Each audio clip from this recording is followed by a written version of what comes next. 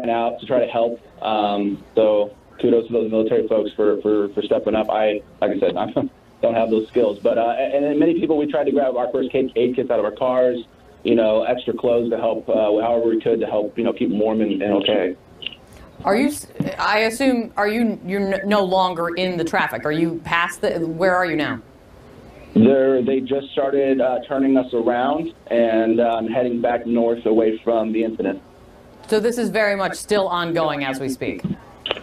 Absolutely. There are a ton of um, first aid and medic cars, fire trucks, state patrol, local police, you can name it, they're all there.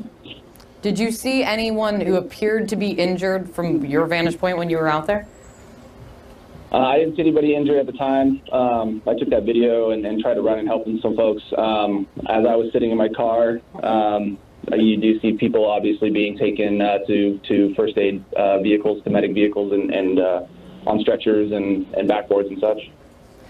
Did how are uh, from what you could see, how are folks being taken off the train? I mean, it's it's dangling, not, it's on the highway. That. I'm not seeing it. Yeah, I'm not seeing it. I'm I, I can't okay. tell you how they're doing that. Um, I did see some uh, some emergency personnel up on the tracks trying to evaluate it, but I, I wasn't there to be able to speak to that.